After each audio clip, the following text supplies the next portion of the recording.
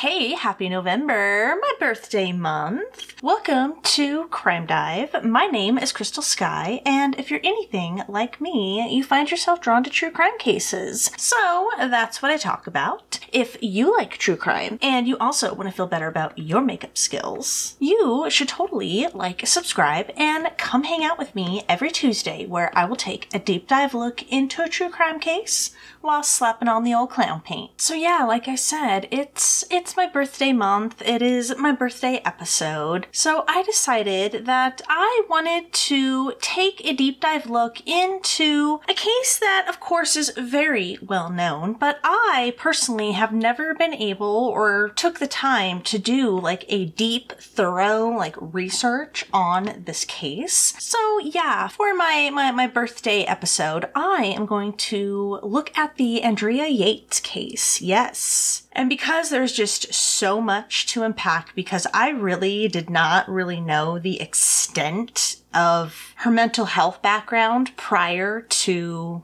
you know, the ultimate murder of her children. And it's just, it's, it's just one of those cases that's just sad all the way around. I mean, all the cases are sad, but you know what I mean. So yeah, buckle up because, uh, we are going to get into part one. Yes, like I said, there's a lot to get into with this case. So we are about to dive into part one of the Andrea Yates case. And disclaimer wise, in part one, we are mainly going to go over Andrea's mental, mental health background, you know, like her upbringing and whatnot prior to, you know, the ultimate deaths of her children. So we won't be talking about the actual murders in part one. That will be part two. So yeah, just disclaimer wise, just a lot of talk of depression and mental health and stuff like that. Alrighty, let's, let's just get into it because there's a lot to go over. Alrighty, so Andrea Yates was actually born Andrea Pia Kennedy, and she was born on July 2nd, 1964, in Hallsville, Texas. Her mother's name was Jutta Karen Koehler. I hope I said that right. Who was a German immigrant and worked as a manager in retail shops. Andrea's father was Andrew Emmett Kennedy, whose parents were Irish immigrants. He worked as a Ford engineer and later as a high school shop teacher. Now, Andrea was the baby of the family. She was the youngest of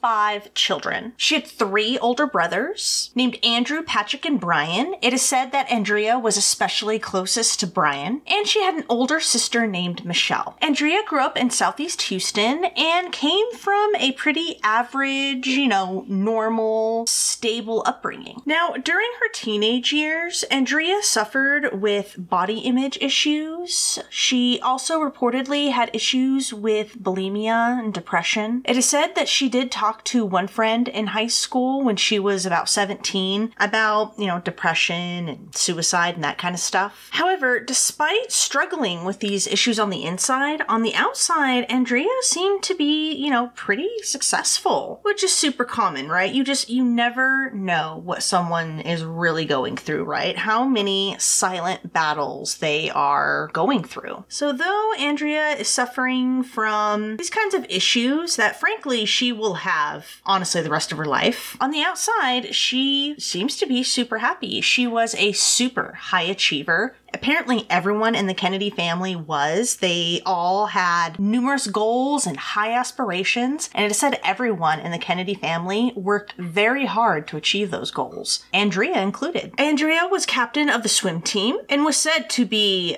really good at the sport. Apparently her team won district championships quite often, quite often. She was she's pretty good at it. And apparently back in those days, the girls and boys teams like swam as like one team, and each year they they would elect a boy and girl like captain of the team. And in Andrea's senior year, she was elected the female captain. It is said she took the sport pretty seriously. She would practice like two hours every day after school. She was a historian and officer in the National Honor Society, took honors courses in high school to prepare prepare for college. And though on the inside, you know, she was going through these, you know, battles, these internal struggles, on the outside, not only was she a high achiever, she was also said to have like a good, dry sense of humor. You know, she was quite witty. And you would have never guessed that, you know, she was, she was going through some pretty serious stuff on the inside, you know? Her best friend, fellow swim teammate, and fellow Honor Society member, Marlene Berta, said that her and Andrea were, you know, they, they were wallflowers. They were pretty quiet. Andrea even signed Marlene's yearbook, quote, the struggling butterfly. Though she was quiet and kind of like um, a loner, it is said that Andrea did have like a small, tight, close knit group of friends, you know? So she was quiet, but not quite a, a loner, you know? One of her teachers, Judy Bradley, remembered Andrea as quiet, quote, but she would participate in class discussions and class activities, and certainly was friendly. But she was not the very, very outgoing, glad handing type of student. And yeah, like I said, though, you know, Andrea did have friends and did socialize, Judy said, quote, she was definitely more of a participant rather than a leader.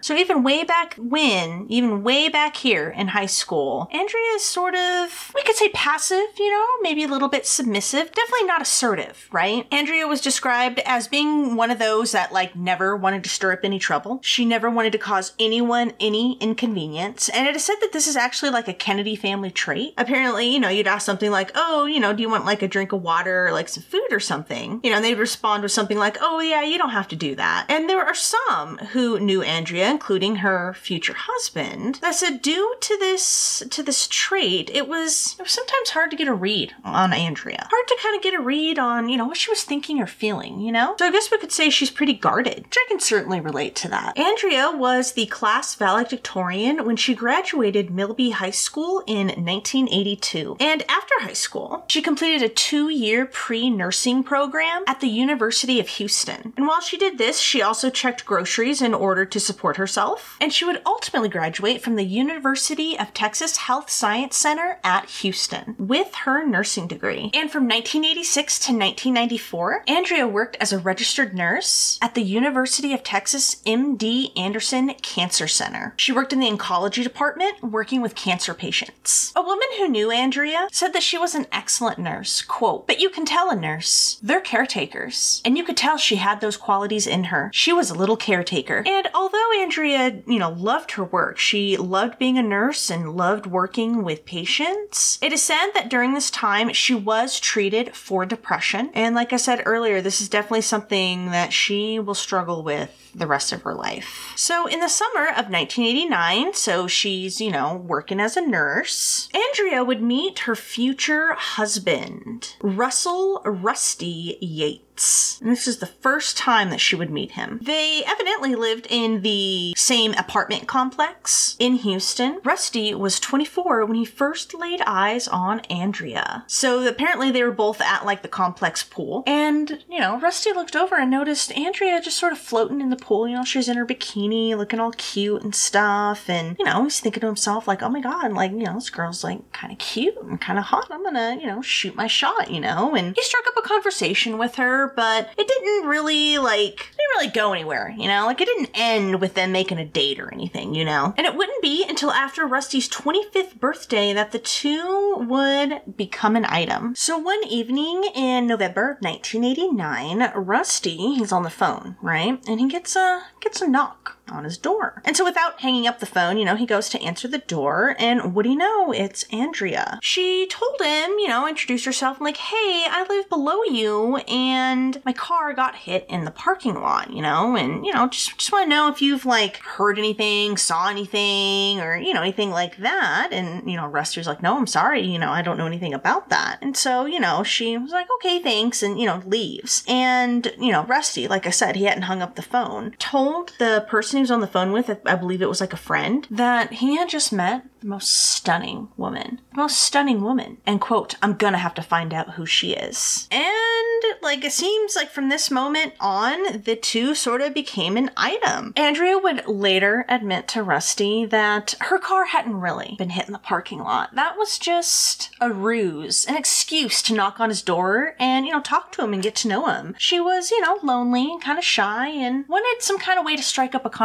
with him. So let's get a little bit more into Rusty here. So Russell Rusty Yates was born September 6th, 1964, to Dora and Russell Yates in Queens, New York. Dora was a former flight attendant turned housewife, and Russell was a salesman who also worked as a railroad man. Rusty also had a younger brother named Randall that they nicknamed Randy. And when Rusty was four years old, the family moved from New York to Tennessee, and they ended up sell- settling in Hermitage. Now, Dora had always been pretty religious, and she always took her boys to work. Rusty's dad, though, uh, Russell Sr., didn't really participate. He wasn't too too religious, it seems, but you know he wasn't like an absent father or anything. Um, in fact, he actually volunteered as a packmaster because Rusty was a Cub Scout, and he actually volunteered as packmaster of Rusty's Cub Scout group. Just seems that his dad wasn't really into the religious thing. Like his dad, Rusty was very good with tools, and he would go on to describe his dad as a quote, not a deep thinker, and quote, very loud, outgoing, and friendly. And eventually, Dora would end up finding a new church, the Hermitage United Methodist Church. And it would actually become the Yates family church. Apparently, even Russell Sr. attended the church with the family. Dora would end up getting a job at a high school teaching, not sure what exactly, and Rusty ended up attending DuPont High School. He and a friend that he had had since junior high, Tracy Alvarez, attended with him. The two also attended church together, and the two were even involved in the Methodist Youth Fellowship, which was a group of young church members who met on Sundays, specifically Sunday evenings during the school year, and during the summer they would go on church trips together. Now, Rusty was a pretty tall, domineering guy. He was six foot two by the time he was in 10th grade, but despite his, you know, domineering stature and like physical stature, he was described as a quote, good guy who could be friends with anyone. His friend Tracy said, quote, he could be so carefree at times, then at the next minute, he could be very serious. You know, about his religion, whatever. Religion was very important to him then, especially. Tracy said that Rusty was a good football player and was, quote, extremely intelligent. Rusty claimed in his sophomore year of high school, he actually grew bored in his geometry class because he could like already predict the, the, the problem and the answer before his professor had even like finished writing it out on the board. He said, quote, it was just obvious. And Rusty didn't understand why no one else saw it. In Rusty's senior year of high school, he was taking AP classes for English, chemistry, and calculus, was also president of the National Honor Society, served on the student council, lettered in football, played tennis, received the geometry award in his junior year, was voted class favorite, and had been chosen for, I don't know, like some like book or pamphlet that was like sent out called The Who's Who Among American High School Students and the Society of Distinguished American High School Students. Tracy said of Rusty, quote, I think what stuck in our minds was that he played football, but was in all the advanced classes. You know, whereas most people, they're like either a geek or a jock or a goth or whatever, you know, like they're, they're some sort of like specific social group, you know? It is said Rusty was able to navigate between like the, the jock and the geek group like quite easily. He easily navigated these two very different social spheres. Quote, he got along with everyone. He was good to everybody. He respected others. And I think people respected him for that. I never heard him say anything bad about others. Never. He could fit into any situation, whatever was handed to him. It is said Rusty actually went out of his way to help others, including like tutoring or, you know, helping change a tire or something. He was just kind of like an all around, like, good guy. It said Rusty, he was uh, pretty shy and kind of socially awkward at first, you know, he didn't really make eye contact a whole lot and sort of stuttered a little bit. But once he got to know someone, you know, and you were like his friend and, you know, he could open up a little bit, it said that, yeah, he was much more outgoing and relaxed and, yeah, much more talkative and stuff. And whenever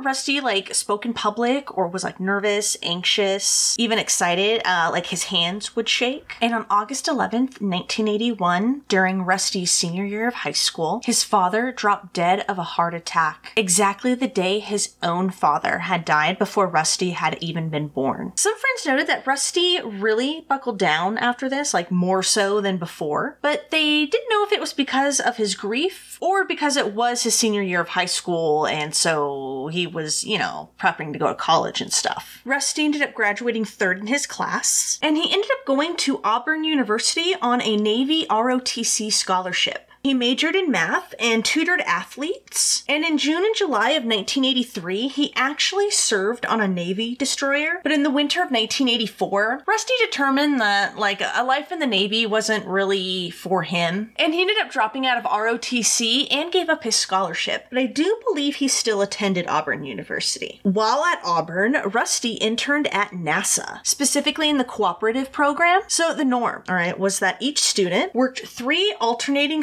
school semesters slash terms. And during their tenure at NASA, they were instructed to, you know, either like program something, build something, like whatever, whatever like specific, you know, specialty they were in, you know. And at the end of the school semester, the students would give like like a presentation, like slash report before their manager, who would then, you know, grade them. And it is said that, you know, unless there were funding issues, if you did a good job, NASA pretty much offered you a job right out the gate. And that's exactly what happened to Rusty. I don't know exactly when, but we do know that NASA offered him a job, which he accepted, and I believe he worked there right out of college. And it was around this time when he was attending school and interning at NASA that Rusty was sort of looking for a religious identity. I guess he wasn't satisfied with United Methodists anymore, and he would actually meet someone while he was at college that would really shape his uh, religious ideology and philosophy. This man was a traveling fundamentalist evangelical preacher named Michael Woroniecki.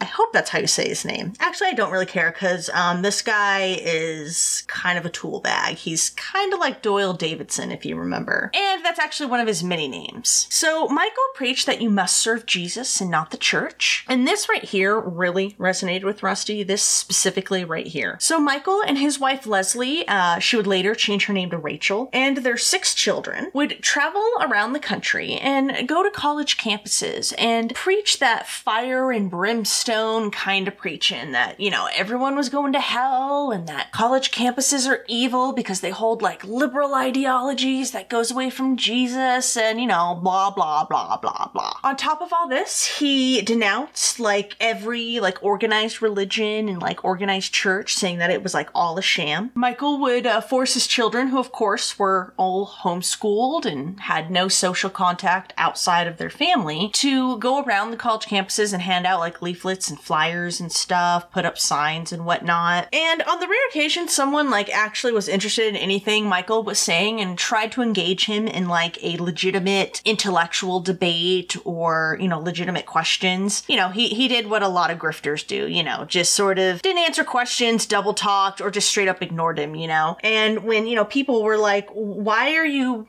coming here and telling us all that we're evil and going to hell? Like, what, like, why are you even here? Like, what's the point? He said that he was there to, quote, save the chosen few. Yeah, again, deep, deep Doyle Davidson vibes. And this message that Michael preached specifically about going against any type of like organized religion or like organized church or something really resonated with Rusty, all right? And he felt comfortable not going to church and instead opening the Bible and like kind of studying for himself, kind of holding like his own private version of church. You know what I mean? And this is why Rusty held Michael in such high regard, you know, because it was, you know, Michael that kind of got him to sort of thinking about that and doing that. Rusty corresponded with Michael for like a year or two out of college. And Rusty even called his mother, Dora, and told her, quote, I think I'm pretty much beginning to believe this stuff. Joy came over me. And for the next several years after college, I think he may have stayed in contact with Michael, like I said, like a year, two max out of college. But for the most part, he kind of fell out of contact with Michael for a while. But as soon as Rusty started dating Andrea, he ended up corresponding with Michael about once a year or so, and Andrea would end up corresponding with Michael's wife. We'll get into that later. So when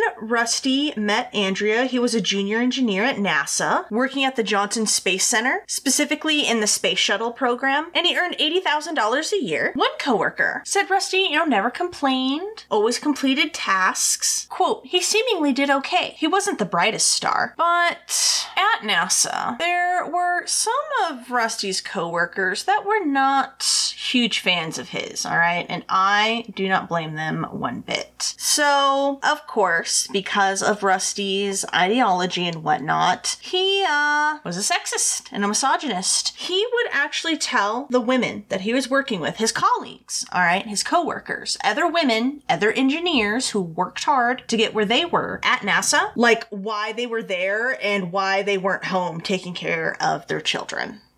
Yeah. They accused him of saying things like, you know, quote, why aren't you home with your children? And quote, you should be home where you belong, you know? Like he very much believed a woman's place was in the kitchen. And look, look, dude, look, you can totally hold that in my opinion, stupid view all you want, right? Like whatever floats your boat. But don't you dare sit there and judge other people who don't adhere to that belief. You know what I mean? Like, how dare he say that kind of stuff? Like, can you believe that? Can you believe that? Like, I would like to think that today he wouldn't get away with stuff like that, but so, like I said, not long after Andrea's knock on Rusty's door, they pretty much, you know, become a couple. They began dating and they would move in together in 1992. Now, I do not believe they slept together when they lived together. Um, a lot of friends of both Rusty and Andrea describe them both as sort of prudish. Rusty says that he had been intimate before he met Andrea, but I believe Andrea had never been intimate before. I believe she was a virgin. And during Christmas of 1992, after they had moved in together, Rusty proposed. And on March 30th, 1993, Rusty closed on a home in Friendswood, Texas. And he moved into the home alone. And just a couple weeks later, on April 17th, 1993, Rusty and Andrea got married. They honeymooned in Cancun. Rusty bought Andrea some Samsonite luggage, and Andrea bought Rusty a set of golf clubs. They announced they, quote, would seek to have as many babies as nature would allow. And then the couple moved into the four bedroom home in Friendswood with plans to immediately fill it up with children. A couple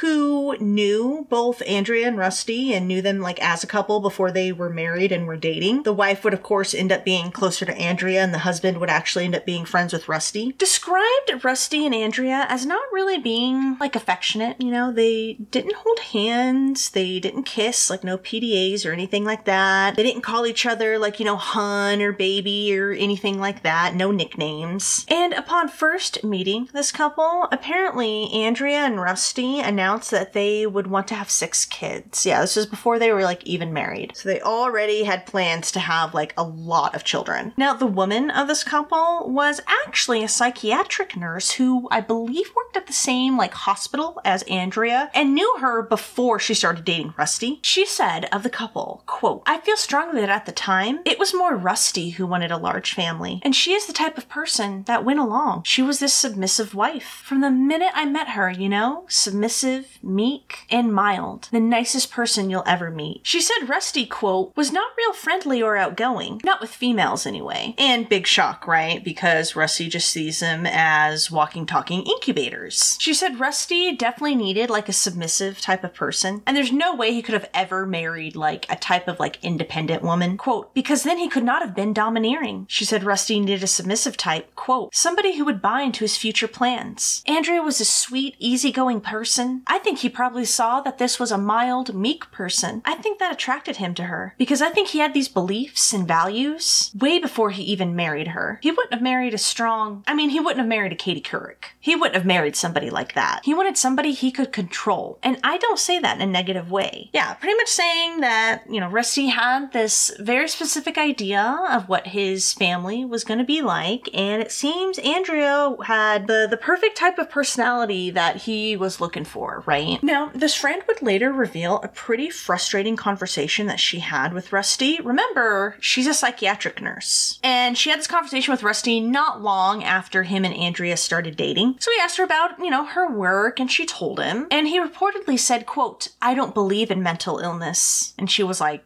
you know, like what? Like, huh? Come again? And he repeated, quote, I don't believe in it. I believe everybody has choices in life. And that's a cop out. He ranted on saying psychiatric illnesses were, quote, malarkey, that people could control their brains if they really wanted to. And people could change if they really wanted to. This conversation, all right, infuriated this chick, who again is a psychiatric nurse, infuriated her so much, she said she had to like physically walk away from him because like she she wanted to like you know deck him. And i don't blame her at all. She said she thought to herself quote you never know when it's going to be at your back door Mm-hmm. So, a year after they were married, Andrea and Rusty would have their first child, a son that they named Noah Jacob Yates. And he was born on February 26th, 1994. A psychiatric nurse friend of Andrea said that she was, quote, the most devoted, dedicated mother I had ever seen. I mean, she wasn't selfish at all. Now, Andrea continued working as a nurse right up until Noah's birth. And after she gives birth to Noah, she would never never go back to work. Andrea breastfed Noah, read to him, taught him to walk and talk. Noah was described as being a little engineer, much like his father. Apparently, he could, you know, go to a fast food place, get like a little happy meal or something, and, and get the toy out. He'd play with it for like five or ten minutes, and then he would take it apart and put it back together again. He also had like this, this like little like fake book with like a speaker in it, and when he didn't like the, the way that the speaker sounded anymore, it was starting to get distorted. He took another like fake book that also had a speaker in it and took it and installed it into the old music book using a hot glue gun as a soldering gun. It said Noah was content to be alone and, you know, and play, and he loved arts and crafts, much like his mother. His favorite thing to draw were, were rainbows. He loved to draw, loved art. He loved collecting bugs, and his favorite shows were Who Wants to Be a Millionaire and Scooby Doo. And there was one time, right, where Noah wanted to stay up past his bedtime because he wanted to watch Air Bud. And Rusty was like, oh, well, you know what? Like, you gotta, gotta answer a trivia question, right? And it's gonna be a trivia question about the US presidents. Thinking that, like, you know, oh, I'll, I'll give him, you know, a hard one. Give him one that, like, he obviously isn't gonna get, so, you know, get him to bed. And the question was what year President Garfield had been born? And Noah had answered 1831, like, just as the question was, like, barely out of Rusty's mouth. Apparently, they had like a placemat on their kitchen table that had like, I think like the birth dates and stuff like that, like some facts about all of the US presidents. And apparently, Noah had had memorized it. So he was definitely quite quite the thinker, you know, he had, had quite the brain. Now, even back here, all right, even back in this time when they only have one child, it is clear that the dynamics were, were clearly delineated and drawn in the Yates household. Andrea took care of the child in the home, and Rusty went to work and earned the living. He was the provider. He actually set up accordion files for each him and Andrea, right? And on the, the tabs of these files were, you know, stuff like, like groceries for Andrea or like car repair for for himself or whatever, right? And he would put cash in each of these files. And whenever, you know, Andrea needed to go shopping or, you know, whatever, they would go to these accordion files, go to the appropriate tab and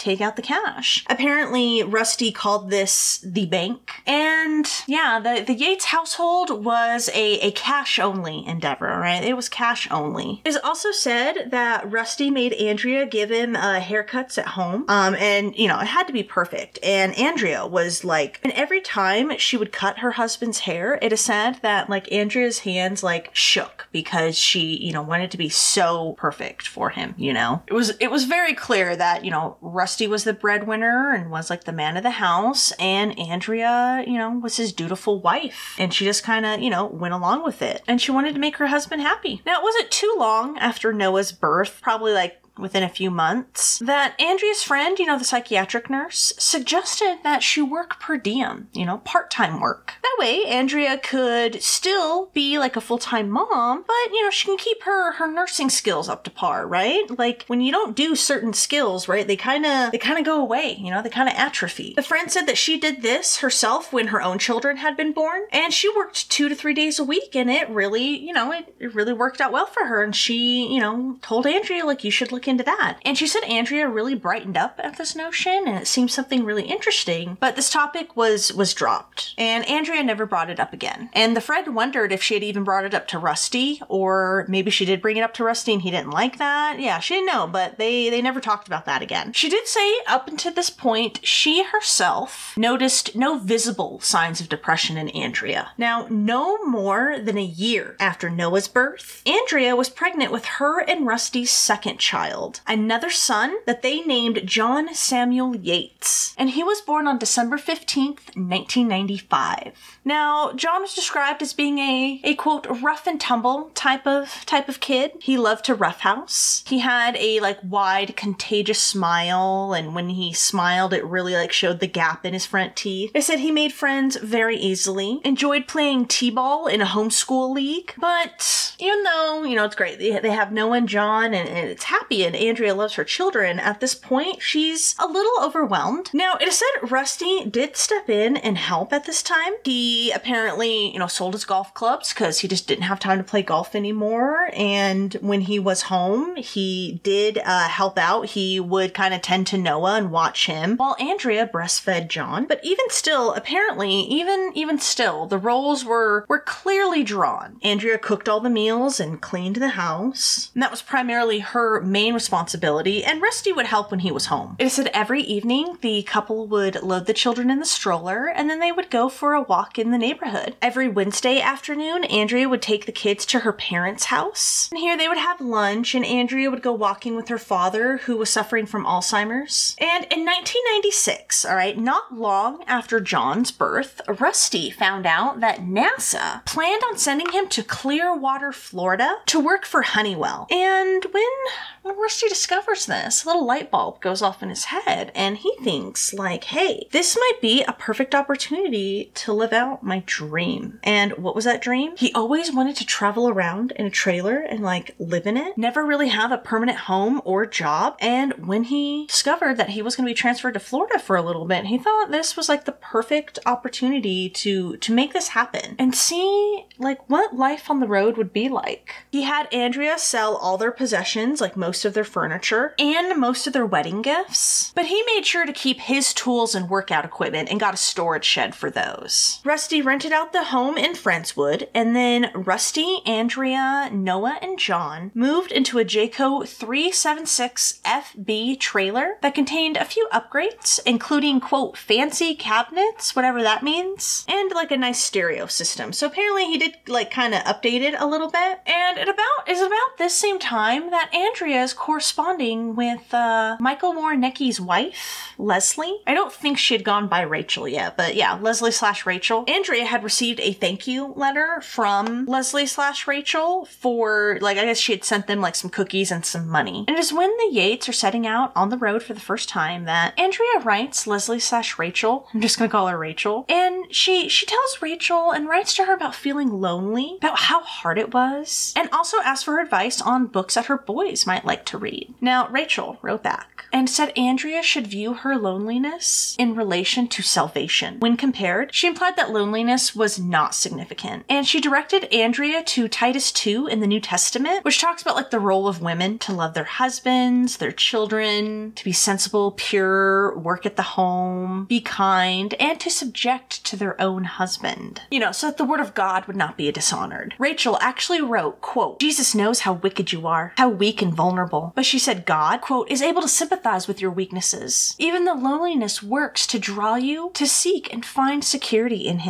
Yeah, very brimstone and fire type of stuff, right? Now, neither Rachel nor Michael themselves had jobs. Like I said, they would go around the country, you know, preaching fire and brimstone, and they relied on donations from people like the Yates. And whenever they were asked like how they supported themselves and their children, I guess Rachel would just say, quote, seek Jesus not in the church or religion and not in the system. The system cannot save you because it is based in Satan. The world offers nothing else, and the world does not have the answers. Yeah, like I said, in actuality, they relied on donations. So, yeah, again, very Doyle Davidson y, right? So, in October of 1996, the Yates, with their 38 foot trailer and their new blue Suburban, pulled into the Lazy Days RV compound located in Hitchcock, Texas. Now, Rusty would brag to anyone who would listen that both his house and the trailer were paid off in full. He was very proud of this fact. And they would be at this RV park for only a month before Rusty was transferred to Florida. And by the time the Yates pulled into the holiday campground in Seminole, Florida, Andrea was pregnant yet again. However, in November, the next month, her stomach cramped really bad, so much so that Rusty actually had to rush her to the hospital, located in St. Petersburg, and here Andrea would miscarry. Now, the Yates were only in Florida for six months, and by the time they were back at the Lazy Days RV compound in Hitchcock, Texas, Andrea was pregnant with what would be their third child. It was another son that they would name Paul Abraham Yates, and he would ultimately be born on September 13th, 1997. Now, it is said Paul was the most affectionate out of all the Yates children. He was also the most obedient, and the, the one child that, you know, you just had to tell him to do something once and he did it. He was given the nickname Bull Moose, and this was because of a, of a moose shirt that he loved to wear every day, like every day. It was actually like so worn from being washed every day. And he also got this nickname from like a children's story about like a caboose who chooses to live in a tree. So that's how they gave him his silly little nickname Bull Moose. Now, the manager of the RV park the Lazy Days RV park. Her name was Belinda Green, and she grew somewhat close to the Yates family while they were there, at least for some time. And she, along with others in the RV park, just noticed how perfect and dedicated a mother Andrea was. Everyone noticed it. In fact, Belinda thought maybe like Andrea was almost too perfect of a mother, you know? She just like was so perfect straight out of a fairy tale. She noticed how Andrea was like patient yet firm with her children, but she noticed that Rusty was was was very quick to correct them. Now, according to Rusty, he wanted to, quote, train his children, and to that end, he would only repeat an instruction like once, and if they didn't follow it quickly, he said he didn't see any reason to keep telling them. He would simply get the paddle. He believed paddling was love and teaching, whereas hitting was anger and jealousy. And to that end, he did believe in paddling his children. Quote, you can't explain diplomatic relations to a two year old. He said out of all of the boys, John was the one who needed a quote reassuring paddling more often than Noah or Paul. How about no? How about you don't physically hit your children to teach them something? Now, as with the expectations of his children, Belinda thought that Rusty also pressured Andrea to be the perfect wife and mother. In May of 1998, the family took off for yet another trip to Florida. The Woronieckis, who were living in Florida at that time, were selling their Greyhound bus. And Rusty wanted to check it out, you know. Remember, he wants to live on the road, so he's thinking like a renovated Greyhound bus would be quite, you know, quite the upgrade. The Yates would end up buying the Greyhound bus, but when they returned to Texas, they had not brought it with them. They were still in their normal trailer. And when they returned from this Florida trip, again, they were only gone a couple weeks, Andrea was pregnant with their fourth child, who had been conceived in the trailer. When Belinda found out about this, she asked them how many children they were planning on having, and Rusty told her, quote, quote, as many as God gives us. But it was when they returned from this Florida trip that Rusty's demeanor kind of kind of changed. He was no longer like outgoing or friendly with Belinda, whom he had really come to rely on for like trailer advice and stuff, and he would talk to her a lot. That's how she came to grow a little close to the family. But when he gets back from his Florida trip after looking at Michael's Greyhound bus, he's all of a sudden like not very warm or friendly to her anymore. He wouldn't speak to anyone, and when he would come home and see like the boys playing like in the yard with like Belinda's children. He would just bark in, at his children, quote, get in the house, boys. And he wouldn't let like Belinda's children come over and play or anything. And Belinda's children thought that like Rusty hated them or something. And they had no idea why. Like, why he just turned into a dick? Like, isn't that messed up?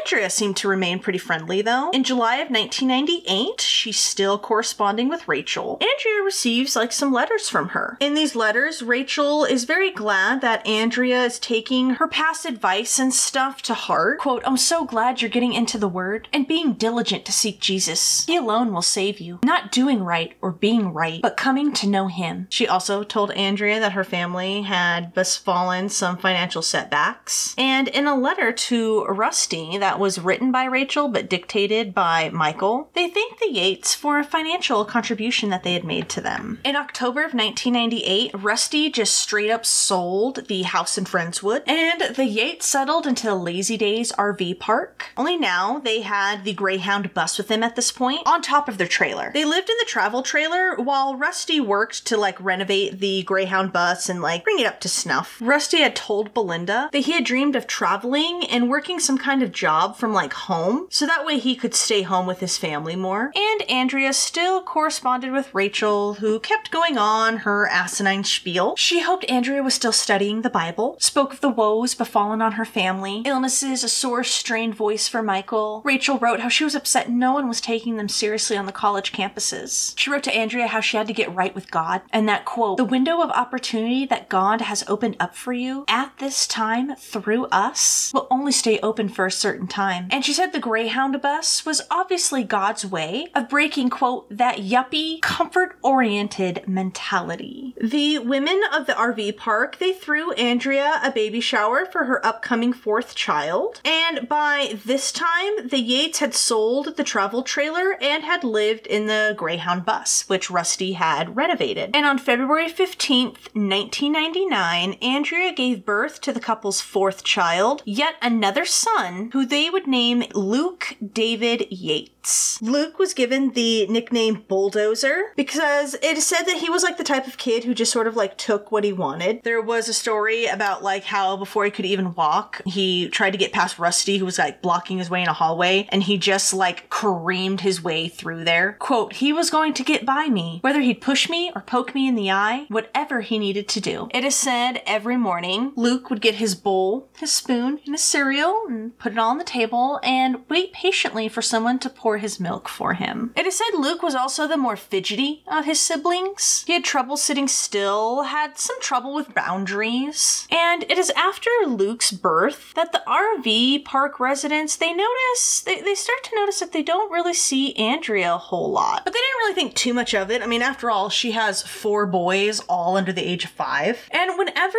the residents did see Andrea out and about, they noticed just how utterly tired and exhausted she looked. Now, not long after Luke's birth, like I think mere weeks, the Yates family took a took a road trip to the Grand Canyon and Lake Mead, and it was on this return trip that Rusty claims he realized that the Greyhound bus situation wasn't really going to work out anymore. It was just much too small for the family of six. In fact, it was so cramped and tiny that two of the boys, I'm guessing Noah and John because they were older, slept in the lift door that was the bus's like front wheel well. And upon their return from this this road trip to the Grand Canyon and Lake Mead, in a rare like personal confessional moment to Belinda, Andrea revealed that on the trip Rusty had like gotten the bus stuck in Flagstaff driving down like some snowy mountain roads or something and that like it really frightened her and she was like, you know, about to like kind of open up a little bit more, maybe kind of reveal a little bit more about like what she was feeling, but she immediately shut up because Rusty walked in right at that moment. Belinda ran into Andrea and the four boys at Walmart one time. Rusty was back home at the bus doing nothing. And Belinda noted to herself how she noticed that back when they only had like two boys, Andrea at least got like a mom's day out once a week where she got to like go out and do whatever she wanted. However, she and the other RV park residents noticed that the more kids the family seemed to have, the less Rusty seemed to like help and the more tired and exhausted Andrea looked. But Rusty didn't look like that. They noticed that Andrea was no longer like happy and upbeat like she once was. Now, to Belinda, to her, it came off as if like Rusty believed Andrea's pure job was to take care of the kids all on her own. She also noticed how the oldest child, Noah, who was always like likable yet very, very nervous, became even more nervous. He like stuttered when he talked because he was trying like so hard and fast to like get the words out of his mouth that he would like stumble. And then, yeah, Rusty just stopped talking to Belinda like altogether. He had talked to her like once in a blue moon after they had gotten back from Florida, but after after this past like family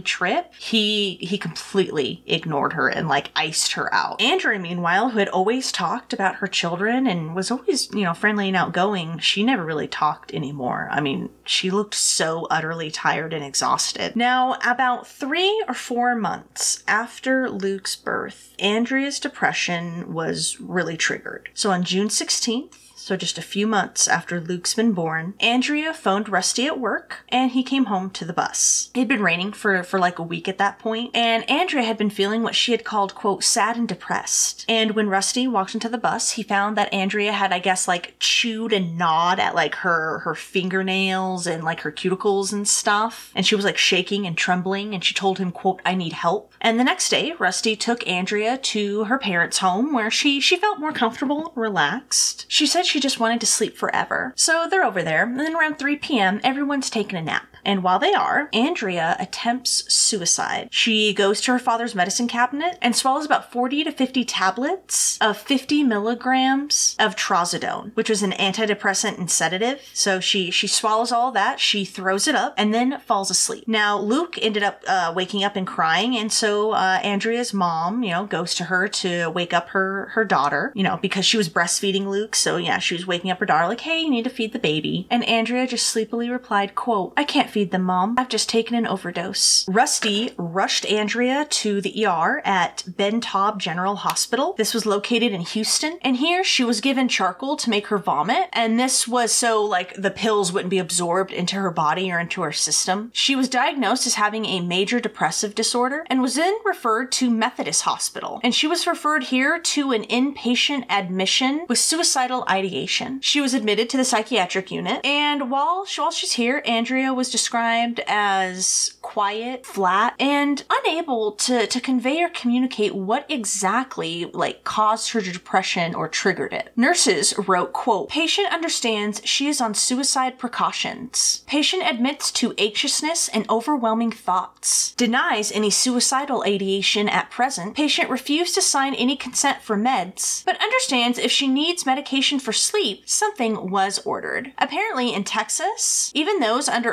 emotional or like mental duress or stress have to consent to taking like any type of psychotropic drugs or anything like that. They have to consent to that. Now, when her social worker, Norma Toriak, interviewed Andrea, you know, trying to trying to get her to talk and open up, Norma found it very frustrating to get any answers out of her. All Andrea would say was, quote, I guess I was overwhelmed and depressed, but she wouldn't really elaborate further. After many, many attempts at trying to get a hold of Rusty to see if she could get some information from him, Norma finally got a hold of him. Rusty told her that Andrea had lost interest in pretty much everything, had become withdrawn, and he told her the circumstances that, you know, led Andrea to being admitted there. He described Andrea's family as, quote, strict Catholic and not very warm. However, Andrea has said that she was very close to her family and described her mother as, quote, supportive, sensitive, caring, and nurturing. When Norma asked Rusty about the state of their marriage, he said that the their their strengths of their marriage was that they both held the same values and were both similar. They were both honest and trustworthy. And when asked about the weaknesses in their marriage, Rusty admitted to Norma that he could treat his wife with a little more respect. In the end, Norma's report read, quote, "The patient's husband seems to be aware and accepting of the patient's problems."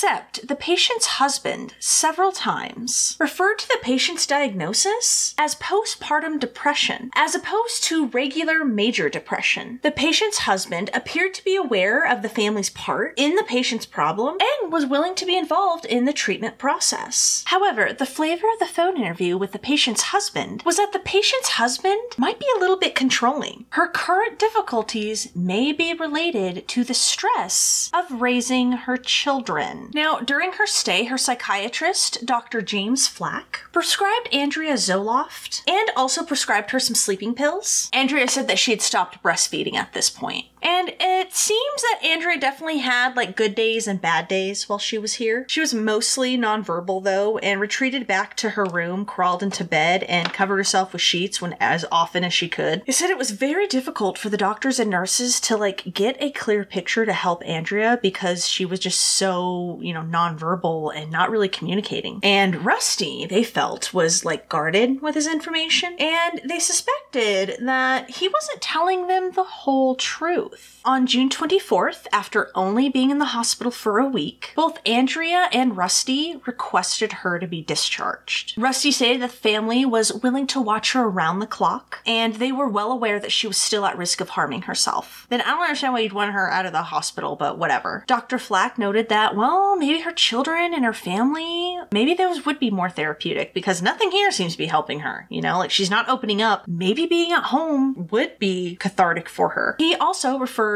Andrea to a female psychiatrist, Dr. Eileen Starbranch. Isn't that such a cool name, Starbranch? So on the evening of the 24th, Andrea was discharged. Although I guess in doctor's notes, it stated that it was due to like insurance restrictions. So I'm not sure if they really were all that comfortable discharging her. So I don't know, but our healthcare system is based on profit, so it's very believable. Dr. Flack wrote Andrea a prescription for 100 milligrams of Zoloft, although her discharge summary stated that it was 150 milligrams, and the maximum recommended dosage is no more than 200 milligrams. And soon, Andrea's prescription was up to 250 milligrams. Now, some pharmacists have said that drugs like Zoloft and Prozac don't don't work for some necessarily because all they do is primarily target the serotonin levels in the brain. But some who suffer from depression, they don't have a problem with their serotonin levels. They have a problem with norepinephrine levels I don't know if I just said that right. I've been trying so hard to say that word. But this is the main neurotransmitter in the brain. And they were saying that uh, some people who have depression, this is this is where their problem is. It's not the serotonin levels, it's this main transmitter in the brain. And when this is is the primary cause, this is usually treated with tricyclic antidepressants, but apparently many doctors are like reluctant to prescribe them because I guess if you have like a suicidal patient, like it's extremely easy to overdose on those. So, like, yeah, they're like rarely prescribed. And again, a lot of the information I did came from like resources and articles that were coming out as this case was happening. So, if there's any like updates or, or anything like that, yeah, please drop it down in the comments below. Now, Andrea started seeing Dr. Starbranch upon her release in July, and she told her doctor that Zoloft was only helping her a little bit. And so, Dr. Starbranch then gave Andrea some samples of the antipsychotic drug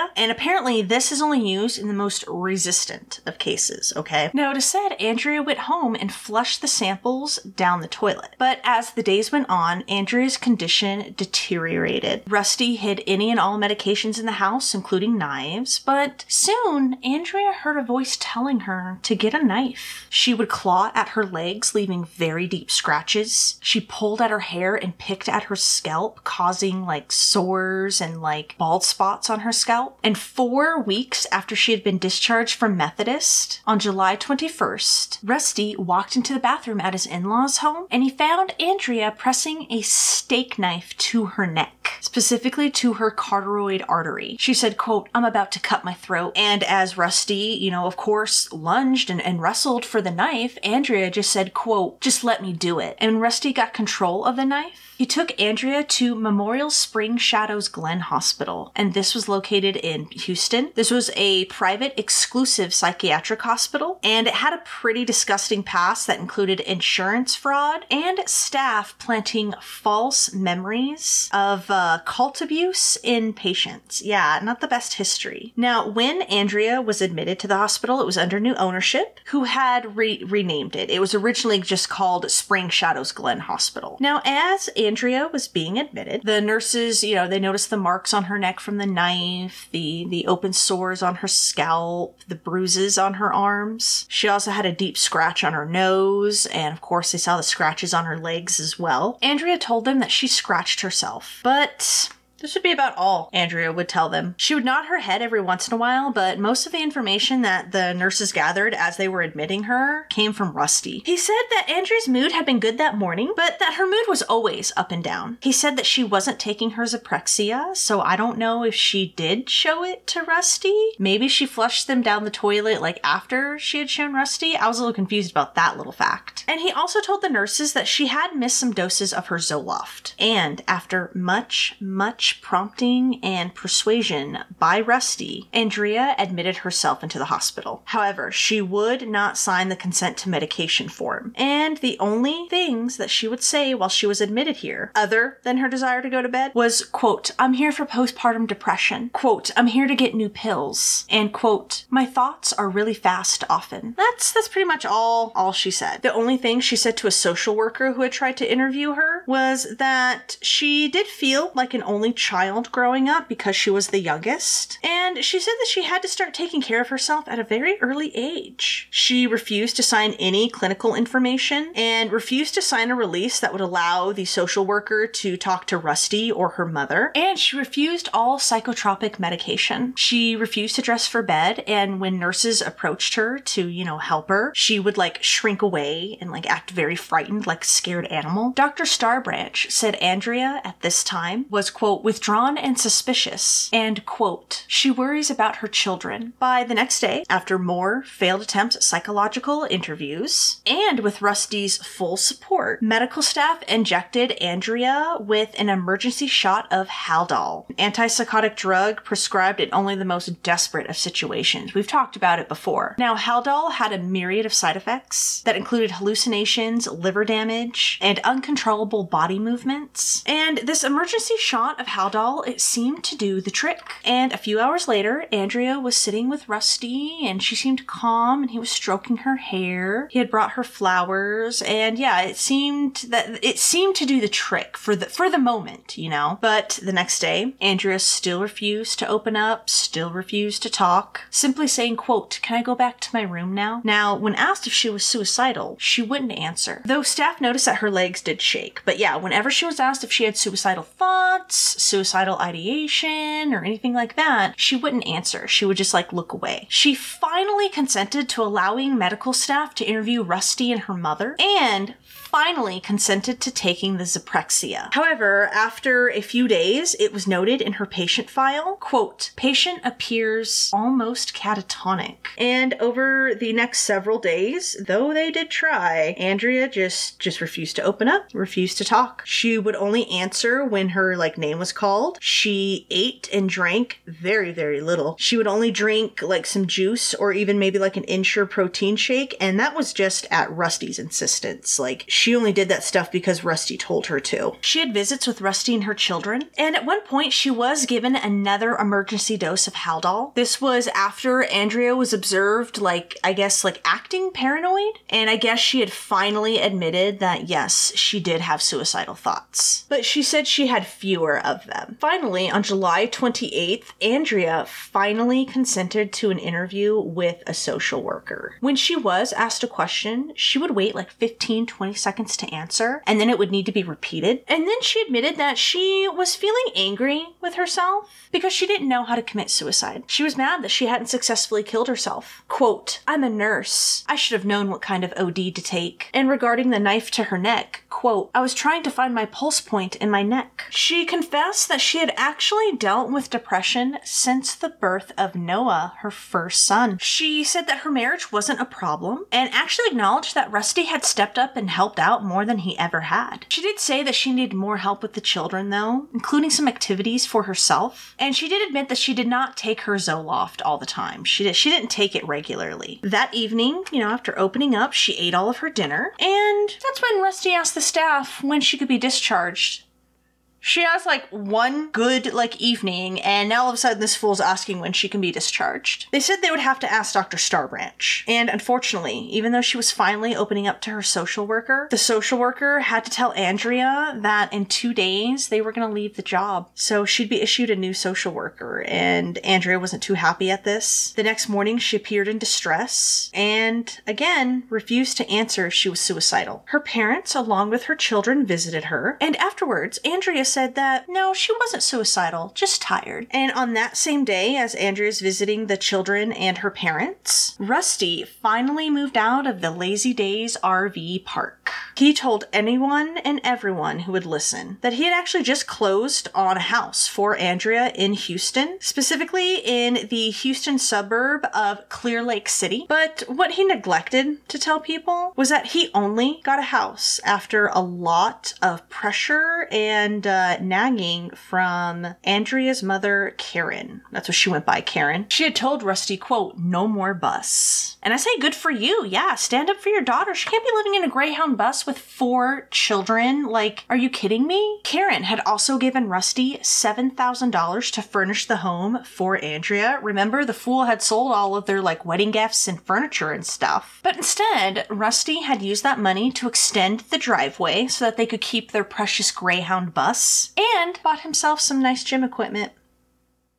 Yeah, can you believe that? At one point, I guess Rusty took Andrea out of the hospital to visit to, you know, see the home. And, you know, he he was he thought it was just like the perfect location because of like its privacy, like a lot of private hedges and stuff like that. And he thought this would this would be a perfect time to renovate the bus anyway. And yeah, he was really trying to like, you know, pump it up and try to like hype it up for for Andrea, you know, like, "Oh, this place is so perfect. It's so it, you know, it's going to work out perfectly." But Andrea was actually feeling very very down. She was feeling feeling like a failure. She felt that it like it was it was her fault that they had to move out of the Greyhound bus, which was like Rusty's dream, and move into this house because of her. Like she just she felt like guilty. She felt like she had let everyone down. Can you believe that? And uh, as Andrea continued her her hospital stay, uh, yeah, Rusty did step up a little bit to help with the children. I'm pretty sure her parents were were helping out a lot, but he was certainly you know helping out more than he had. He took the kids to like their their t-ball games. I think the oldest two had t-ball games. And though the other parents noted that he did show up a few times without Andrea, they had they had no idea what was really going on. Parents, coaches, and like other people who were involved in the team in the league said that like had they known like even a fraction of what the Yates were going through at this time, they would have definitely stepped up and helped. But Rusty hadn't told anyone. When he appeared at the Lazy Days RV park, which I'm not even sure why he was visiting there since he was giving everyone the cold shoulder, but whatever when he was over there visiting, he just like mentioned nonchalantly that like Andrea had some depression and just like, yeah, brushed it off like it was no big deal. Belinda, I don't even think Belinda had any idea that Andrea was in the hospital. But yeah, it does seem that he was like helping out more with the children than he ever had. Remember the psychiatric nurse friend that Andrea had? You know, the one that was actually critical of Rusty? She did describe him as a devoted father. Quote, he was the devoted father, always there. All those things you want in a husband, you know, that helped you. I know he helped her with those kids. I know he was a good provider, and I think it was good that he saw that Andrea could not work and raise the kids. But then there's that thin line where he didn't want anybody babysitting the kids. He didn't want anybody because he didn't want any secular thoughts put in their heads. That's got to be domineering. No free time for herself. I never saw her do anything on her own. She said it wasn't particularly fair to Andrea, and Rusty kind of seemed oblivious. Like, after all, he got to go out into the world and talk to other adults and have a career career. Meanwhile, you know, Andrea's at home with, with four young children. But her friend knew that she would never stand up to her husband. Quote, I don't know if she felt like this was Prince Charming who swept her off her feet. So yeah, he, he definitely helped out with the kids, but it seems, you know, kind of like with Belinda and the RV park people, right? That he's not stepping up enough, you know? It, it's very clear that he believes child rearing is mainly Andrea's responsibility, primarily, you know? When Andrea was being prepped to transfer into adult service and group therapy at Shadows Glen. She seemed uh, distressed and she said that she didn't really care to transition and she didn't find it particularly useful. She was not a fan of the group therapy. When her new social worker tried to interview her, she simply just like walked out of the room. She was noted as being, quote, despondent. And over the next few days, she refused to open up in group therapy or family therapy. She refused to eat, refused her medication, and eventually she confessed that she started hearing voices and seeing visions of knives. Quote, I had a fear I would hurt somebody. I thought it better to end my own life and prevent it. I had a vision in my mind. Get a knife. Get a knife. Get a knife. I had a vision of this person being stabbed. She admitted that her first vision had occurred like right after Noah had been born, but then the visions had stopped. When asked who she feared she might harm, she didn't answer and just changed the subject and seemed to like be really uncomfortable. She said stressful situations aggravated her nervousness, and when asked what those stresses were, she said, quote, the kids, trying to train them upright, being so young, big responsibility. I don't want to fail. She said she used to be much more outgoing and cheerful. Quote, not so self-centered as I am now. Yeah, can you, she thinks she's being self-centered. She said she had obsessive thoughts, mostly concerning her children and how they would turn out. And she said she picked at her scalp and her hair as a quote, nervous reaction. Her new social worker diagnosed Andrea with major depressive disorder, severe, recurrent with psychotic features. He suggested that if psychotropic drugs didn't work, he suggested electroconvulsive therapy. shock treatment. Yeah. He also said that Andrea needed help learning effective strategies to deal with stress, help in viewing herself more positively, help developing a more satisfying and effective support system, help developing assertive behavior, help learning to express her emotions appropriately, and help organizing her thinking. Bottom line, Andrea was going to need a lot of help and support. By August 5th, Rusty stopped by with the boys to visit her, and he told a nurse that when he came to see wife, she hadn't showered or changed her clothes in like four or five days. And he spoke with a consulting physician, Dr. Arturo Rios, and Rusty had, you know, told Dr. Rios that, like, hey, Andrea seemed to, you know, get better with that Haldol shot. like, why don't we, why don't we give her some of that? After looking at her chart, Dr. Rios told Rusty, like, hey, like, if there was any improvement with the Haldol, it's very short lived. Like, I can, I can tell from her chart. And like with Andrea's social worker, he suggested shock therapy. Like, what? Like is there some like humane like competent way that they are using shock therapy? Because everything i've read and heard it's it's horrendous. Like it doesn't do anything. It's just it's torture and it it damages people. Andrea vehemently opposed shock treatment and rusty was not a fan of it either. He wanted to see what they could do with medication. And on august 9th andrea was discharged from memorial spring shadows glen hospital. She was transferred from their inpatient care into day treatment over at at Memorial Hermann Health Center. She left with orders to take 150 milligrams of Wellbutrin twice a day, 75 milligrams of Effexor twice a day, 2 milligrams of Cogentin, this was to be taken at bedtime, and 5 milligrams of Haldol, which was also to be taken at bedtime. The Wellbutrin and the Effexor are often prescribed together, even though they're both antidepressants. Apparently, Wellbutrin like really counteracts uh, Effexor's side effect of decreasing one's libido. However, However,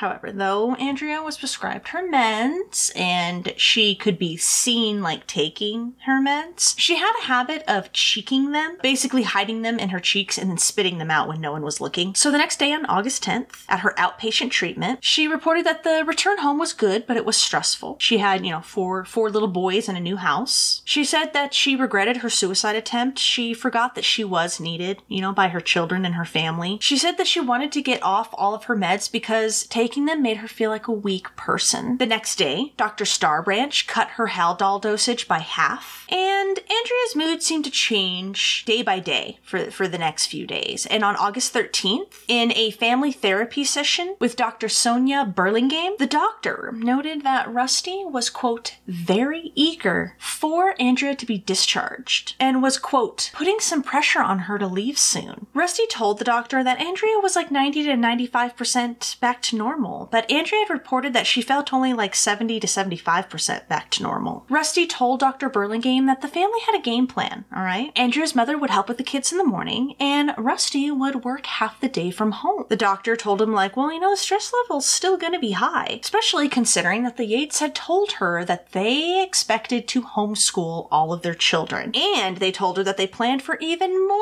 children. So she was like, well, you know, the stress level's still gonna be high, right? She said that they should consider Andrea's best interest when they're making their decisions. In group therapy on August 16th, Andrea reported that Rusty, you know, let her out to do some stuff for herself. Specifically, he allowed her a couple hours a week to, you know, kind of kind of be with herself and do what she wanted. The group encouraged her to assert herself and demand more time, like a couple hours a week was not nearly enough. And Andrea said that she would like to learn how to enjoy herself again. But on that same day, in a session with Dr. Starbranch, Andrea said that she wanted to get off all of her meds.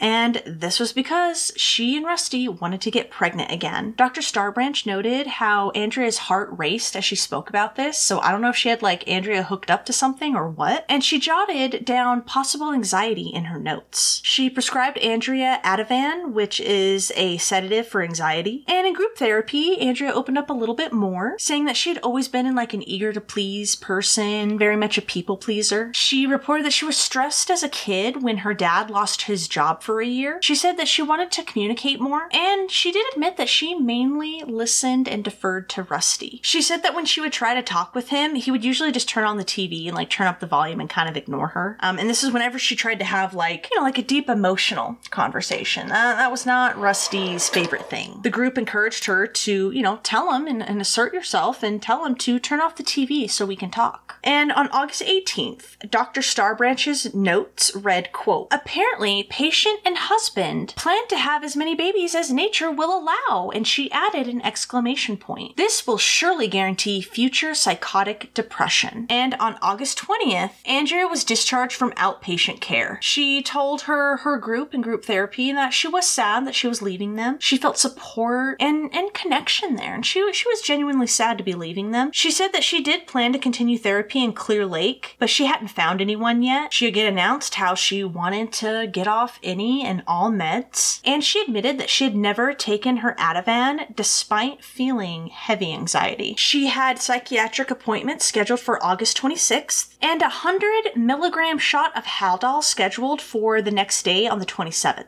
On Paul's second birthday, September 13th, Andrea was busy cooking and designing a very elaborately detailed homemade birthday cake, and it looked like a bright red three dimensional truck, like Andrea just went all out. On October 14th, the Yates went to Dr. Starbranch. Apparently, Andrea wasn't getting her Haldol or Cogentin. I guess it was due to like a conflict with the stupid health insurance. And they wanted to know if Andrea could just like get off of it altogether. They said Andrea was doing better, her appetite was back, she wasn't hallucinating, wasn't paranoid, she had no suicidal thoughts, and wasn't depressed. Her short term memory and her concentration had also improved. Andrea said that her energy level was good, though she wished she had more. She did have four small boys after all, on top of homeschooling. She said that she wasn't exercising though and she needed to run. Dr. Starbranch wrote in her notes that Andrea seemed to be, quote, doing okay, but needed to be on her antipsychotics. She put Andrea on Zyprexa, Wellbutrin, and Effexor. And by mid November, Andrea seemed to be doing better. She was running once a week, reported no, you know, suicidal thoughts or suicidal ideations or anything like that. Wasn't depressed, anxious, wasn't paranoid, and she had started to see a therapist. Dr. Starbranch then halved her Zyprexa dosage while continuing the other two meds. And by mid December, Andrea reported that she was, quote, doing great, excited for Christmas, was baking and decorating up a storm. She was running a couple times a week, still seeing her therapist and had started homeschooling Noah. And at this point, Dr. Starbranch discontinued the Haldol, but she continued the other three medications. But when Andrea returned to Dr. Starbranch in January of the new year, 2000, she learned that Andrea had not been taking any of her medications since November. Andrea said that she was doing fine. Her only problem was that like she felt a little restless during the day. She said Rusty didn't like her going off her meds, but did agree with her that she seemed to be doing better. She said that she actually didn't want to take any meds unless she was symptomatic. And by March 2000, when Andrea became pregnant with her and Rusty's fifth child, she was completely off any and all medication. And it was at this time that those who did know the couple, like primarily Andrea's like family and stuff and some close friends, and were aware of her mental health struggles, just I don't think they just knew the degree that she was suffering, all raised an eyebrow at this announcement of this fifth pregnancy. Many were wondering like why they would even have a child when Andrea was clearly struggling and they had like four young kids. And it really seems to be that when this fifth pregnancy is announced that family and friends start raising an eyebrow. Start wondering how great of an idea that really was to bring a fifth child into the mix. Now, like we mentioned, Andrea was homeschooling Noah. I believe she had started homeschooling John as well. And it is said that when they were five years old, her boys could read on their own. They knew their alphabet, it knew their numbers. The Yates were a, member of the Sagemont Baptist Church like homeschool group. It was like some sort of support group, and I think they would meet and like go on field trips and stuff. Um, however, it said Andrea and the children only attended like a, like a couple field trips with the group. No one really talked to Andrea here beyond the like, oh hi, how you doing? You know, have a great time type of thing. No one really knew her. Um, in fact, some members couldn't even really remember when Andrea and and the kids showed up. It's like they just kind of like appeared one day. However, so it should be noted that though, you know, obviously Noah and John knew like their alphabet and numbers and stuff like that, it is said five year old John still wasn't even like properly potty trained and still wore diapers. And like, let's remember, like, there's only two older children at this point. The oldest child is like, what, six or seven? So really not even that old. The rest are all infants and toddlers. And yeah, juggling like child rearing, caring for the house, on top of homeschooling. I mean, something is gonna slip through the cracks, right? Something is, is gonna be neglected. Like, after all, one person just can't possibly do all that, you know? Every morning while she was pregnant, Andrea would get up before sunrise and would take a dip in the community pool that was nearby uh, Diana Lake. And she would swim laps, you know? Remember, she was totally into swimming in high school. So, you know, I think this was, was probably pretty healthy for her, both physically and mentally. On July 2nd, Andrea celebrated her 36th birthday. But funnily enough, even though she went to great lengths to bake cakes and stuff for her children and everyone else, she just celebrated her birthday with store bought cake. I guess Luke like dove into the cake and like, you know, wiped frosting all over his, his face and stuff, as kids do. He like, you know, wiped like the chocolate frosting all over his face. And Andrea was like recording this and like she was laughing and stuff. And then like hastily, like just suddenly, right? And hastily and sounding almost guilty, uh, she, she stops laughing. Her voice turns like into more like, like panicked mode. And she began apologizing aloud. Quote, that's chocolate cake. It's this thing. And she pans down to the cake. Quote, it's not dirt. Yeah. Like all of a sudden, like she's laughing, having a time. And then all of a sudden she's like, it's not dirt. I promise. It's just like cake. Like, yeah. Yeah. Andrea finally gave birth to the couple's fifth child, a daughter this time that they named Mary Deborah Yates, and she was born on November 30th, 2000. Now, despite her previous fragile mental state, Andrea seemed to be doing like okay after Mary's birth. Just 15 days after Mary had been born, Andrea threw a fifth birthday party for John. She and Noah baked a, a elaborate, like colorful hot air balloon cake, and as the Yates family all gathered for the event, Andrea sat with baby Mary in her lap and yeah, there's like video recordings of like the birthday and stuff. And yeah, she seemed like relatively happy, you know, had little baby Mary bouncing on her lap. In December, Andrea taught her children about medieval times and made a bunch of like costumes and stuff for them. And she even wrote out a play that kind of like went over what they what they taught and they put it on for Rusty. But Andrea's normally enthusiastic voice on the video recording was more flat, almost disinterested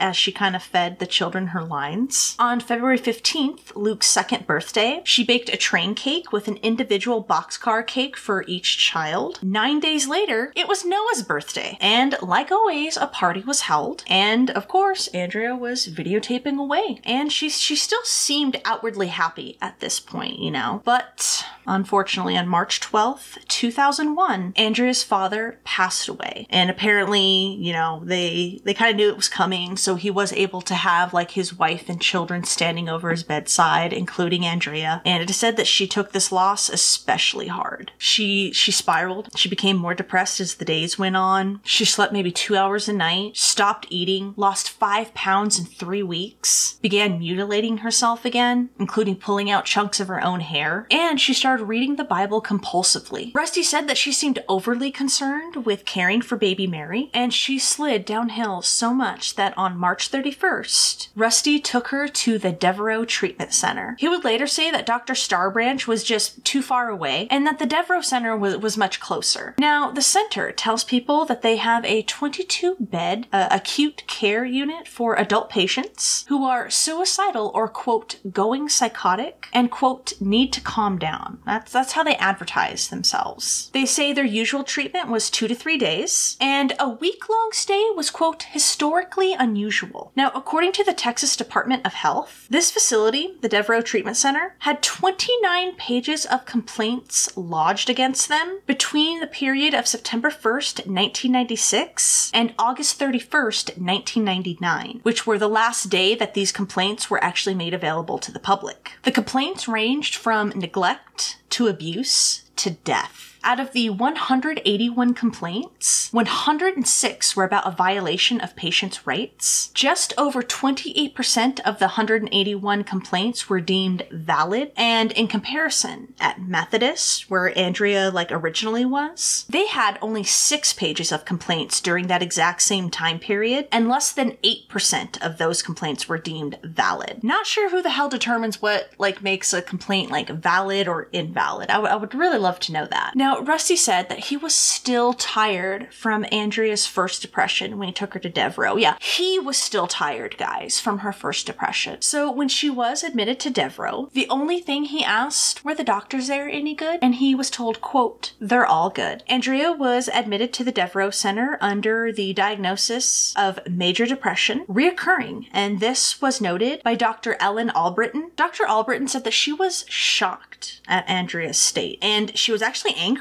at, at Rusty for, for letting her deteriorate so. Her hair was unkempt, her clothes were baggy, they were very loose fitting. She sat like hunched over. She was very motionless. Dr. Albritton said, quote, I was very upset because the patient was so ill for some time. I wondered why she hadn't been presented to our facility sooner. And then, over the course of many, many hours, many, many different assessments were, were taken and noted in Andrea's file. And most of these, you know, assessments came from Rusty as once again, Andrea wasn't talking. So her assessments in her, in her, like her chart, they were written down, right, in one handwriting, but they were signed by another MD or licensed social worker, which, you know, indicated that these professionals didn't actually do the assessments themselves. In fact, a former employee, a psychiatric nurse who worked at Devereux, claimed proper protocols were not followed there. So she explained that the way psychiatric care is supposed to work is a team of doctors, nurses,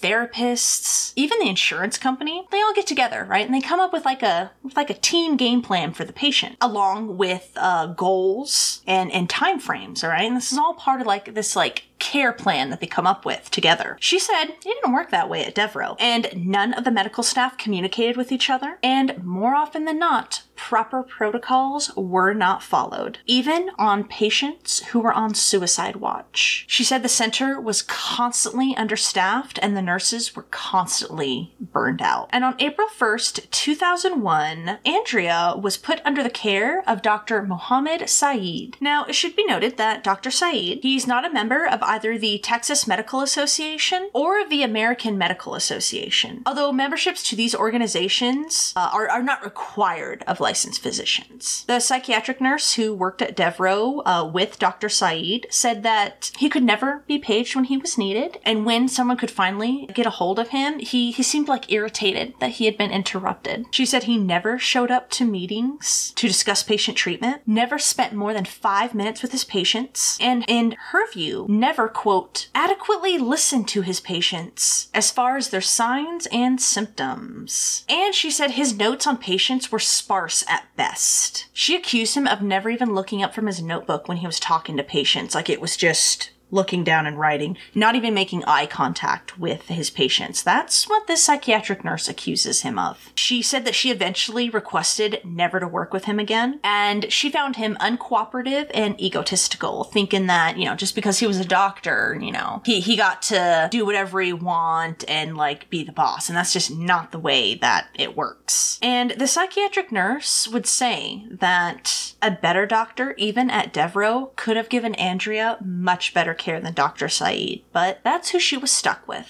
So Andrea answered very few of Dr. Saeed's questions, and he wrote that she was, quote, almost catatonic. The next day, he sat down with both of the Yates, and Rusty said that he had brought his wife in because he feared that she wouldn't last another day at home. He said that she had become distressed because she had, quote, dried off, like she was no longer producing milk for baby Mary, and this really upset her. Dr. Saeed planned to try and engage Andrea in voluntary treatment, get her involved in like family therapy, put her back on her Effexor and Wellbutrin. But so we talked with with Rusty and Andrea, and that was sort of like the plan. But later that same day, Dr. Saeed and the treatment center's program director wrote Galveston County probate judge Gladys Burwell, and they wrote to her requesting Andrea be committed to Austin State Hospital, citing that she was catatonic, refusing to talk, refusing to eat, to drink, refusing to take her medications. Her urine output was so little that they feared she was at risk of kidney failure. And they also petitioned the court to allow Dr. Saeed to administer psychoactive medications. He wanted to put her on Risperdal, an antipsychotic, and Cogentin. And the next day, Andrea voluntarily signed herself into Devereux. So I don't know if she was like being like admitted under like Rusty's authority. I'm not sure. But the next day af- after this, Andrea voluntarily uh, admits herself to Devereux. And at this point, Dr. Saeed wrote a new letter to the judge, uh, basically just saying, "Oh, you know what? That stuff we asked, never mind. Just just forget it." So I'm not sure what that was about. And much like with her previous admissions, Andrea's time here at Devereux would be marked with highs and lows. You know, had good days and bad days. She would refuse to answer questions, but then she would get to a point where she was dressing herself, even attending group therapy. But then she would then, you know, refuse to eat, only drink like Ensure protein shakes. And again, this was only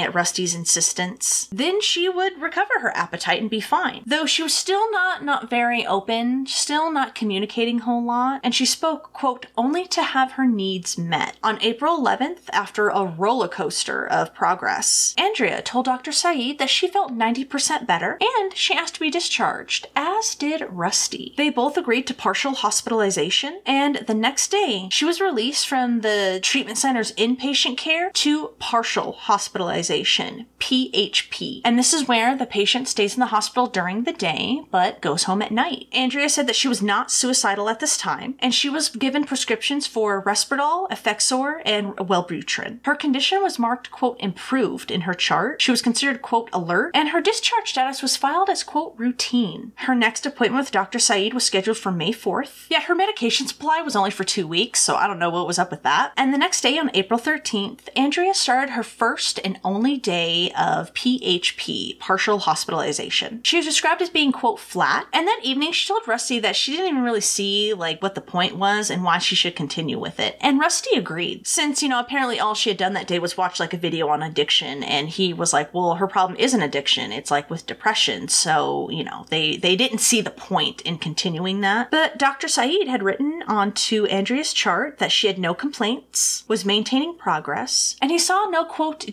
decompensation since her discharge of one day. Three days later, Dr. Saeed talked to Rusty, who said that Andrea was improving, she was more involved with the children, she was talking, but she was having trouble sleeping. They discussed upping her Effexor, and Dr. Saeed then encouraged them to participate in PHP, but he said Rusty was very reluctant to do this. Dr. Saeed told him that, hey, I'll keep Andrea's chart open for another day, and if she doesn't want to return, she'll be fully discharged from Devereux. And on April 18th, that is what she was. She was fully discharged. But according to Dr. Saeed's notes, her compliance was poor. She stopped attending PHP, and her condition upon discharge was listed as, quote, improved by report.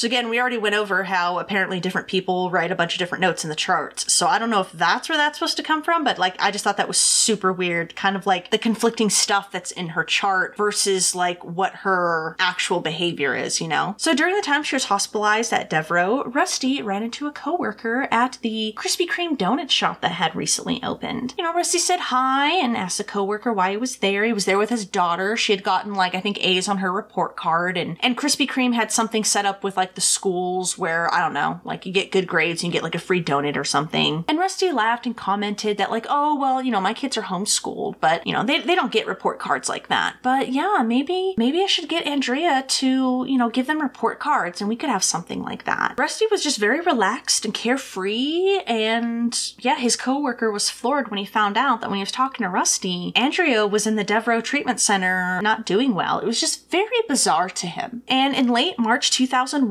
right before she was admitted to Devereux, Rusty walked into the HEP bookstore, which was co-owned by Terry Arnold. So this was a bookstore that specialized in like homeschool materials and books and stuff. And Terry said that she she remembers Rusty because it was it was pretty rare for a man to walk into her store. Most of her clients were were females. He told her that his wife had told him about this place and he wanted to check it out. So yeah, Terry Terry showed him around. She had like in the back there like she had like a bunch of books and stuff, you know, and in the back there was like a children's table and chairs and like books and toys and stuff. Rusty said that he quote liked it and said quote I'll tell my wife about it. Which again is weird because he said Andrea told him about it and that's why he was there, but Okay. And a few weeks later, in April, Andrea showed up with the kids, and they would visit the store about four to six times that month. Guessing probably starting around the 13th or so when she stopped doing PHP. Terry said that each time they arrived, Noah, who was the oldest, would sort of like herd his three younger brothers in like a in like an orderly line. They would all hold hands as Andrea, who, you know, had baby Mary, would walk up to the store, and then Noah would open the door for his mother and and siblings. Terry said it was obvious that Noah was the leader and was just like a little gentleman. She said when he smiled, it took over his whole face. Quote, You couldn't help but fall in love with that. Terry said each time Andrea would go to the back of the store, you know, set the kids down at the little table, and then carefully, methodically thumb through the books and pick out everything that she needed. And Terry always marveled at how well behaved these children were. Terry would soon begin to sit down with the Yates children when they would come in, you know, she would see them and get all excited, and so she would, you know, tell tell the employees like, hey, um, I'm not available during this time because I'm gonna sit down with the Yates children and, and hang out with them. She said she loved bouncing little two-year-old Luke on her lap. She said Noah would always wear a purple shirt, which was his favorite color and her favorite color too. They would always talk about that. She said Andrea never talked much, but she did speak to her and she was like friendly. One time Terry asked her if like, hey, are you guys gonna have any more children? And Andrea said that she they would very much like to, but it probably wouldn't happen. And Terry said that Andrea seemed very upset at this. Now Terry, who had five children of her own, like sympathize with Andrea. She's like, yeah, we wanted more kids too, but we couldn't. And she said when Andrea came to visit her in her store, she always she was always well dressed, like nothing like know fancy clothes or anything, but like you know her hair was obviously kempt. It was like in a loose braid, and she would come with her shirt tucked into her jeans, and like she you know she had like cute little funky earrings that she would wear. Like to Terry, Andrea was you know well put together, and she said the children were also well dressed and obviously like bathed and well taken care of. She said Andrea usually bought a few items at HEP at a time, always paid in cash. Terry thought Andrea was quite personable. You know, she was quiet, but she was confident and, and friendly. And yeah, didn't come across to Terry as browbeaten. Apparently, Terry worked with runaway children, you know, so she was always sort of like on the alert for any potential signs of abuse or neglect or something. And she said that she never picked up on any of that with Andrea and the children. Now, the last time Andrea and her children would visit Terry at the HEP bookstore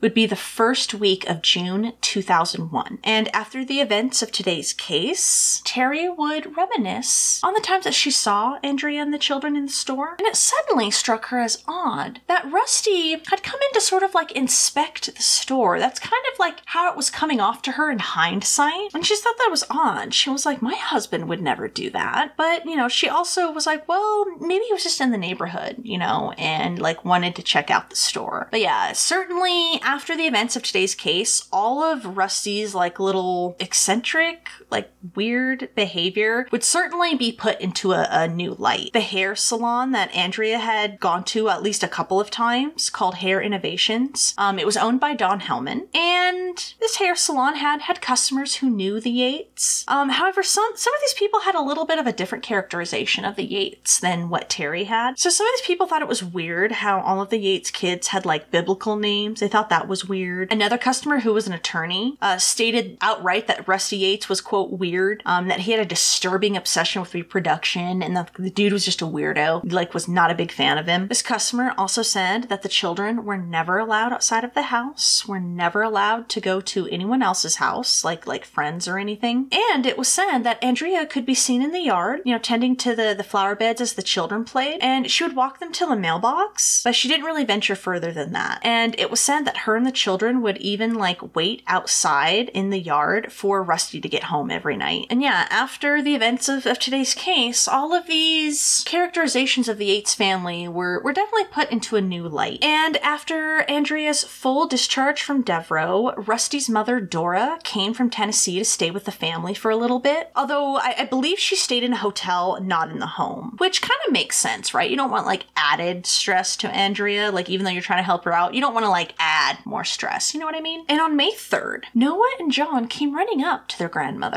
and they were asking, like, hey, why, why is mom filling a bathtub? You know, it's the middle of the day. And so she's like, what? So she, she goes, she goes in the back room and yeah, Andrea has the bathtub going and she's filling it up with water. And since this is the middle of the day, Dora asked her, like, hey, what are you doing? And Andrea replied that she was doing it, quote, in case I need it. Now, Dora thought maybe Andrea had maybe just like filled the tub and like forgotten about it or something. She didn't really think much of it. Andrea would later confess that she had actually planned to drown her children that day, but she had decided against doing it right then. Now, Dora informed her son of this incident when he got home, and fearing that Andrea's mental health was slipping, Rusty drove Andrea back to Dr. Saeed's office, reporting that she wasn't eating or drinking enough. He mentioned the bathtub incident and described his wife as, quote, nearly catatonic, but again, not suicidal. Rusty talked with the doctor about the medication cocktail that he thought had helped Andrea in the past. It was the Haldol, Cogentin, Effexor, and Wellbutrin, and that was what he wanted Dr. Saeed to prescribe to Andrea, while apparently Dr. Saeed wanted to do shock therapy. Rusty was vehemently against this, and that's when Dr. Saeed then agreed to put Andrea on the Haldol, and Rusty agreed to readmit Andrea to Devereux that night. And when she was brought to Devereux for a second time, Andrea was described as, quote, sad, depressed, tearful, not talking. She was admitted for a 10 day stay. And Dr. Saeed's notes on his patient are not very detailed. They gloss over much of Dr. Starbranch's notes, which he had actually he had gotten like consent to get Dr. Starbranch's notes on Andrea. And yeah, compared to Dr. Starbranch's notes, Dr. Saeed's were like, yeah, very sparse, not very detailed, and glossed over a lot of Dr. Starbranch's. He listed once again that he suggested shock therapy and that Rusty had refused. And the only times Andrea would eat or drink uh, were at, you know, Rusty's insistence. He had to like coax her into eating or drinking anything. Though Dr. Saeed would report that Andrea was, quote, up and about. And at this time, Rusty thought that Andrea was way over medicated. On May 10th, Rusty and Andrea attended a family therapy session where, once again, Andrea didn't speak and Rusty did most of the talking. He said Andrea was nonverbal with him and he had to guess what she was feeling, thinking, what she wanted. He described her as a, quote, pack rat, said she was the, quote, baby of the family, and that Karen, Andrea's mother, was, quote, hard on her. He also stressed that he had taken time off work, you know, to stay home and help with the children, but he was considering on getting a housekeeper. On the 12th, in another family therapy session, Andrea said that she had no issues to discuss, and Rusty stated that they had no issues to discuss as a couple. Later that evening, Rusty was visiting with Andrea along with the children, and he told Andrea that the doctor said that she was well enough to go home, and apparently she didn't react at all to this. A patient who watched the couple at this time described as Andrea following Rusty, quote, like a puppy would follow its owner. On the 14th,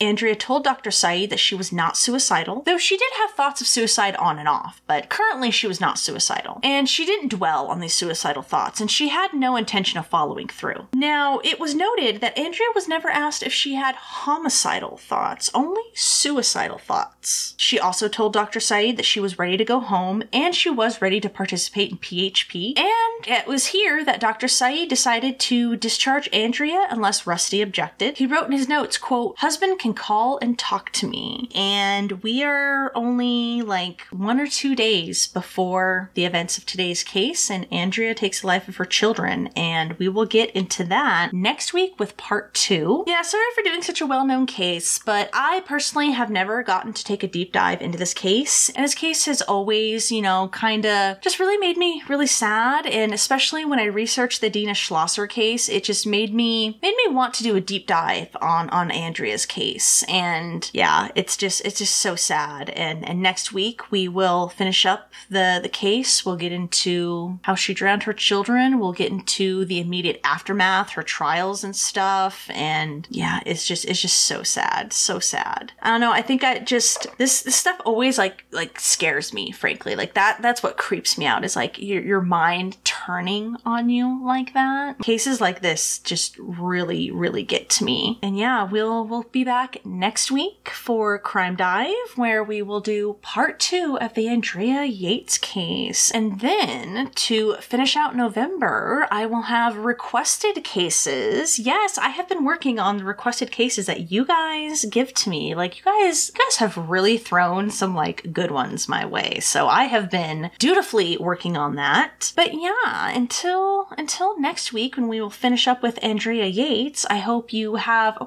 wonderful week. Take care of yourself, be safe, happy, and healthy, and remember, don't be a dick, man. Just just don't be a douche. I mean, kind of like what we're talking about with this case. You never know what someone is going through. So just just play it safe and, and don't be an a-hole, you know? Just just be a, a decent person. Alrighty, y'all, I will see you next week. Bye bye.